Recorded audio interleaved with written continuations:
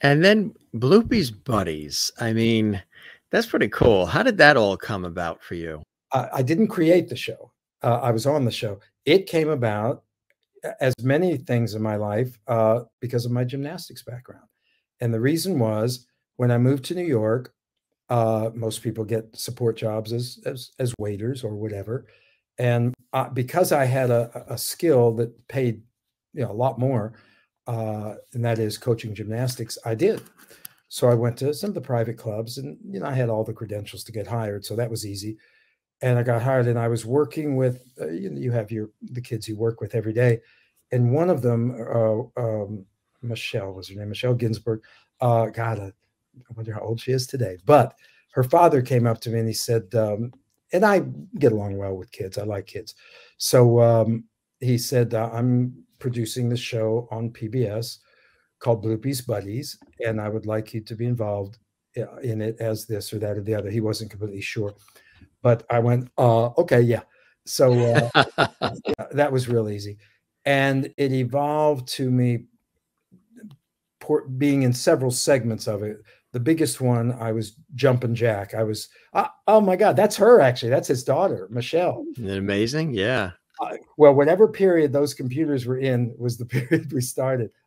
Um, that's Blue. And that was on PBS. That was part of PBS Kids. I mean, and that, you know, is landmark in the 1990s. Oh Kids, I'm sure, remember this. Wow, I'm getting, I'm having a flashback here. Yeah. This, huh? It was a health, safety, fitness, nutrition show for kids between three and seven.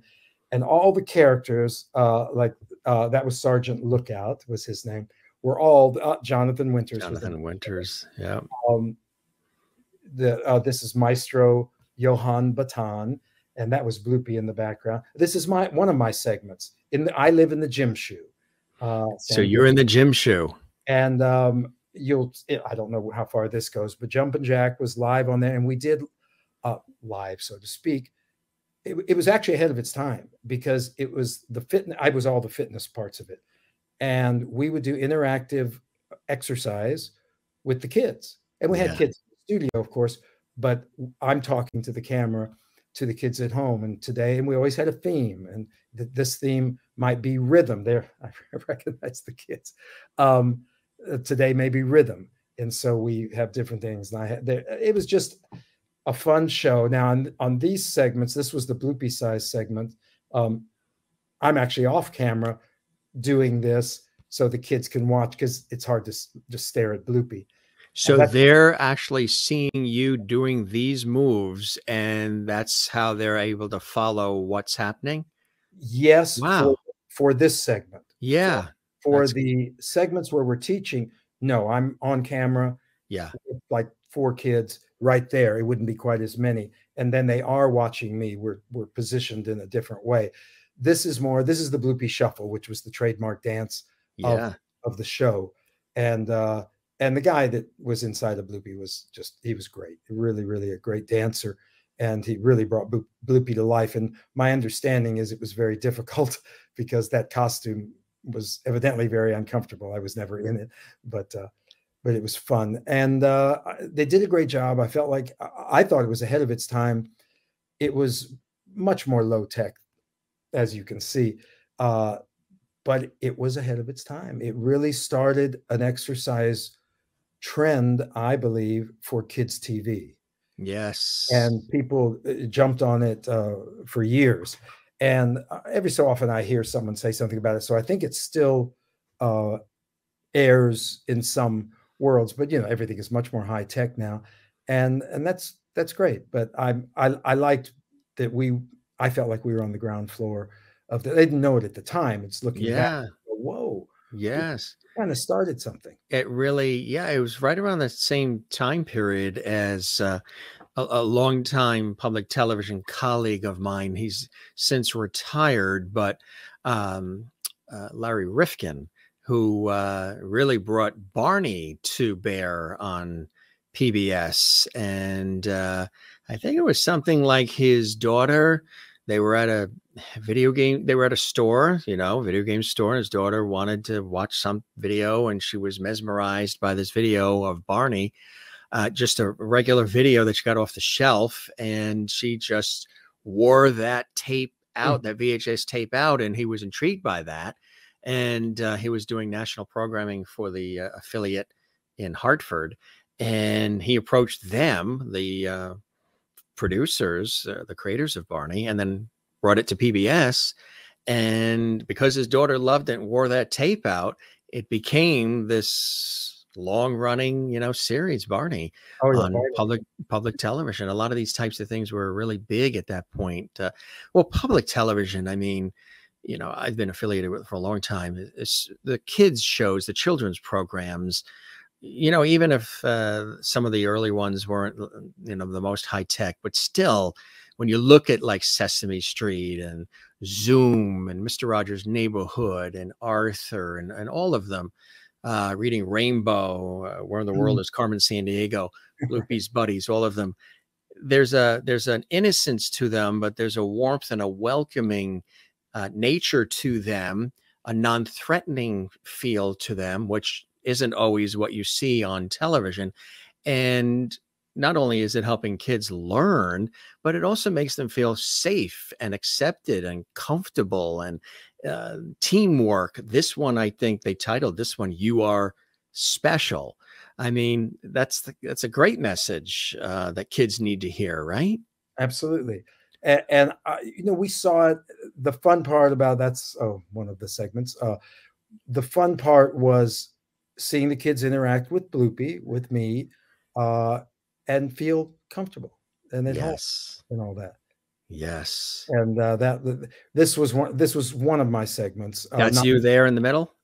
believe that, it or not. There he is. There's Jack Hyman right that's, there. That's still not the teaching segment. The teaching. This is again another Bloopy size segments segment. Uh, Bloopy uh, di- didn't Bloopy talked, but could not be spontaneous. So because it, it was all pre-recorded. Uh, so uh, just in that time, so uh, hence Jumpin' Jack, which was my character, came to be because when we do show, we did Westbury, we did a lot of sh- live shows. Yes, it, needed a a, a semi-real human, so they asked me. Uh, so uh, to to be the to to be a spokesperson for it, because unless it was recorded, Bloopy could only just nod or say, you know, yes or no or move or get excited. That is absolutely there you are. Wonderful. I'm so happy you came. That's cool. and then they go to all the different segments. And... Yes, each one has a bloopy character: the doctor, the police officer, uh, the chef, uh, the gym shoe guy. Uh, and when they go into each of those uh, segments, obviously the base costume, but uh, they had their own accents, they had their own voices, they had their own script uh, of the things they did. I wrote the uh, the exercise segments were mine, so I was in charge of writing all of those, uh, which was great fun. Uh, but that you know that I got it because I was teaching her daughter, his daughter. See, uh, that's where the gymnastics, uh, you know, the athletic prowess, along with being an actor and having the understanding of performance, and in this yeah. case, working with kids, really uh, all came together in this perfect vehicle for you. Uh, completely, it, it, really was a, a, perfect storm of everything. And I knew when I uh, when he, when he asked me basically to start just on a low keyed way, but they were looking for a bigger role on it, and I went, no, no, no, no I, this is mine, you know. So uh, we said, well, we'll do it on a trial basis, and then I ended up, you know, doing the the gym shoe thing, the segments. But it was it was a wonderful. Yes, all of what you just said is true. It all came together, and it it was a lot of fun. And they worked hard. The producers they had a lot of good uh, writers. Was it shot in New York? It was the first one or two seasons were shot actually uh, at KPBS in San Diego. KPBS San Diego, sure, great station. Ask me how much I loved San Diego. I loved it. Anyway, San Diego is nice. Oh, yes, just to go there, and I actually was hoping that they would uh, keep it out there. Then it moved back to the East Coast to NJN in, in Trenton, I believe. Yes, New Jersey Network, sure, right. Right. So that's where it changed, uh, and then stayed there. Uh, there, I think we used. Uh, actually, I think we used. Uh, not ESPN, but we used uh, one of the uh, studios of one of the networks, Yeah. And, um, it, it- so, but it stayed. Then it stayed in Trenton for the rest of the time. We never went back. I don't know the backstory, Yeah. it, but uh, but it was just as much fun, just different. And Jonathan Winters was a hoot. So uh, Oh, yes, absolutely. To have him as a part of that. Yeah. Yeah, he Really, took- really. he told children's stories in a lot of his characters that you know we all uh, have grown to love Yeah. Years, and uh, it was just fun to to have him around.